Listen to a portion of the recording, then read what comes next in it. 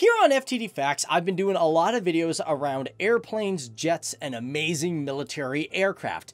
And nothing is quite as cool and amazing as the awesome, groundbreaking F-22 Raptor, a fighter that changed many things about aircraft and how planes are going to be built in the future. One plane that was way ahead of its game. But before we get into the amazing facts about the F-22, I should probably introduce myself. Hey, all you lovely people out there, how is it going? Hope you're all having a fantastic, amazing day. My name is Dave Walpole, and welcome to FTD Facts, a channel where I look at, well, in this particular type of video, military content.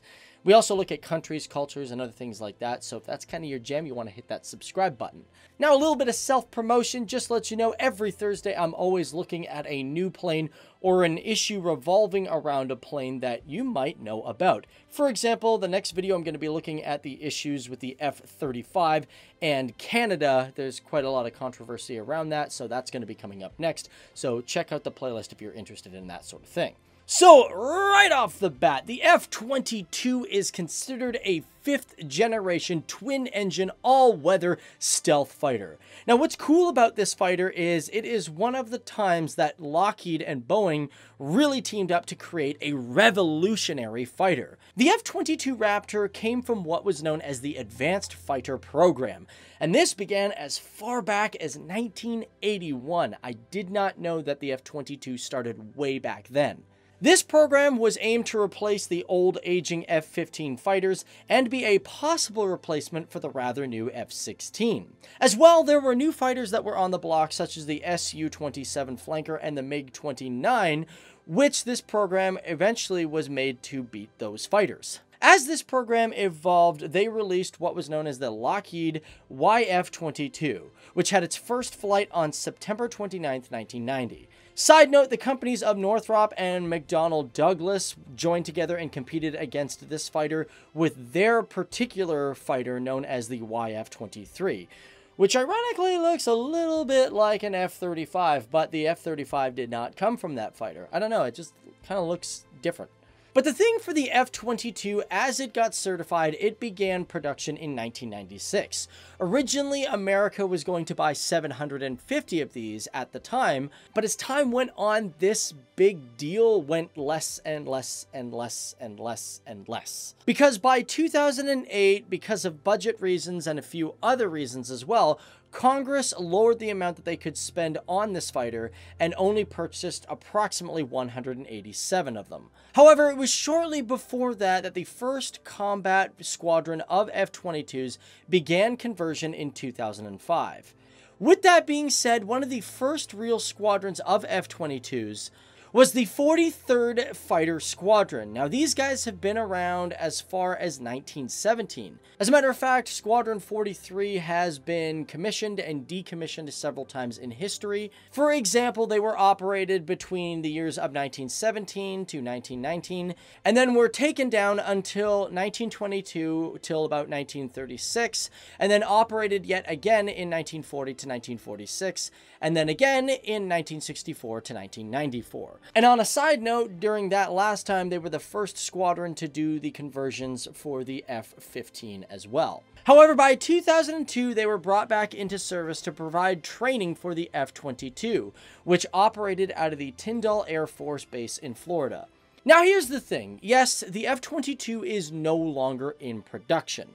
The question is, although it is a good fighter, why isn't it? With only 195 of these ever being made in total, there were a couple of reasons, such as they were extremely expensive. On top of that, there was also the introduction of the cheaper stealth fighter known as the F-35, and even the United States really questioned how valuable the F-22 was going to be used after the collapse of the Soviet Union.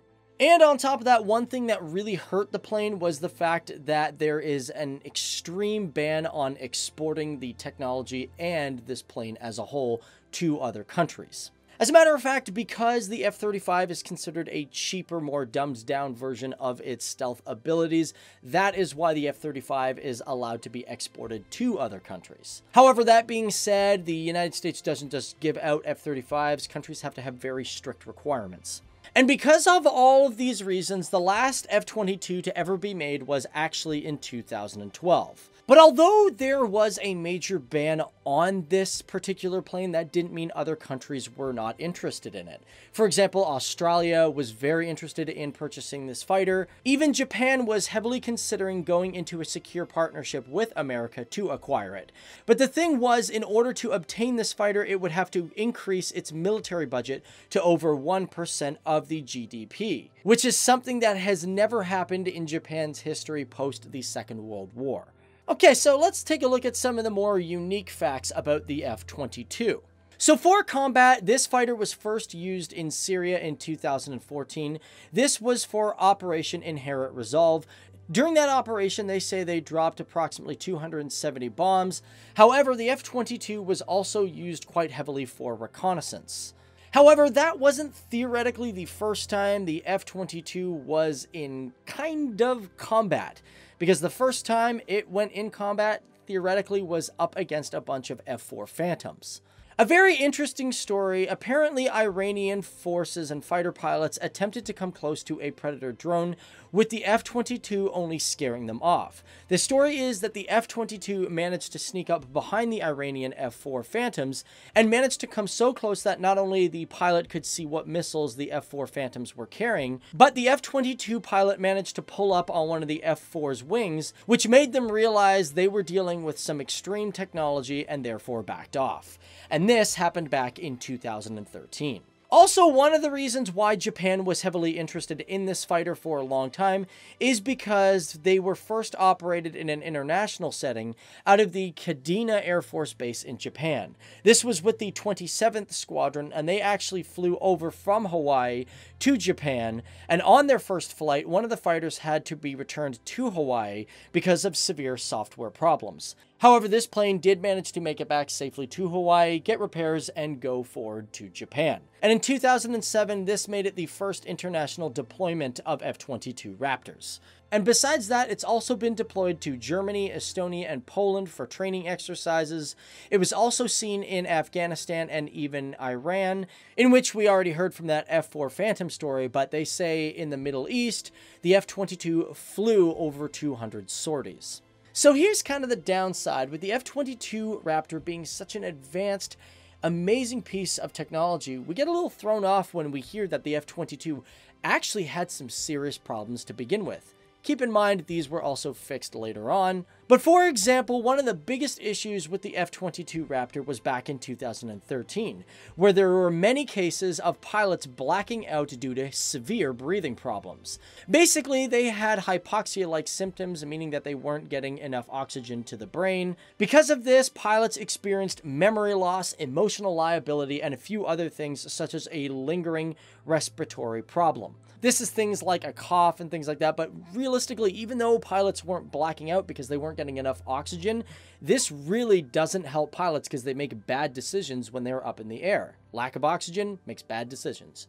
And with that, in 2005, they discovered that the breathing regulator was defective. And on top of that, the oxygen generating system reduced the amount of oxygen that was given to the pilots at high G maneuvers. Fortunately, though, the United States military jumped on this as soon as possible, and they have since fixed those issues. With that, because of this oxygen issue, I should also mention that there was one major hull loss.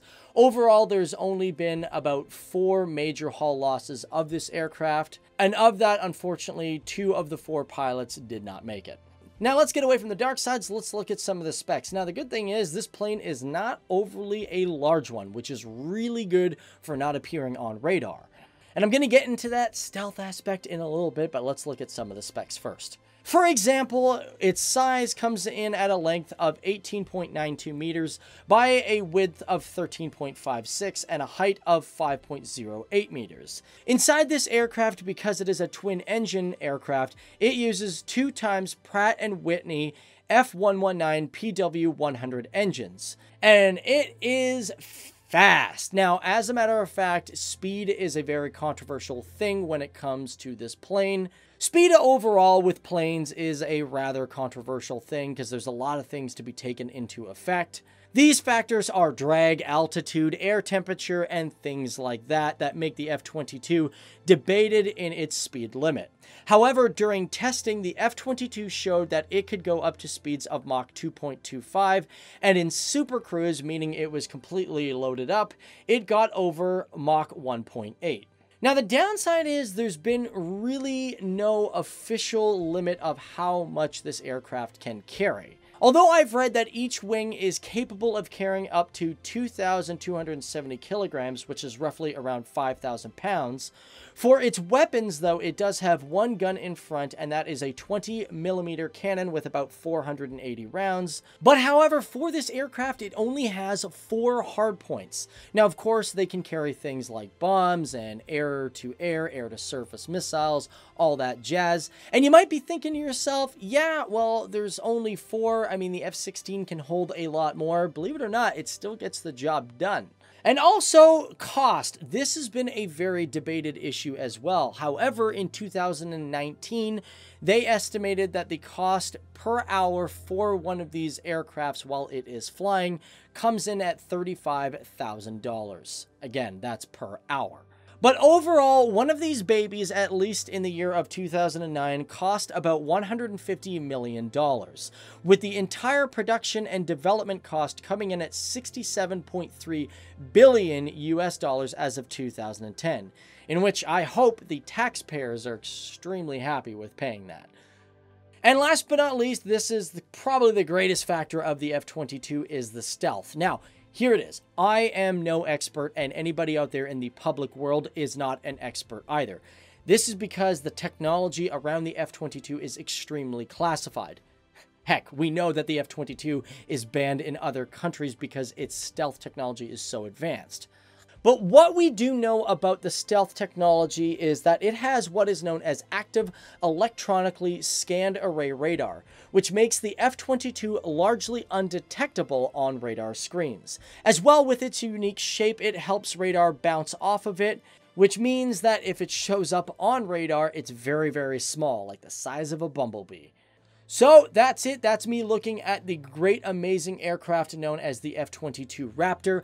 I absolutely love this aircraft. I think it's kind of unfortunate that it's no longer in production. There is talks about a sixth generation F-22 coming out, but I don't know what's going on with that. A lot of specs, a lot of theories, but that is for the future, which we cannot predict.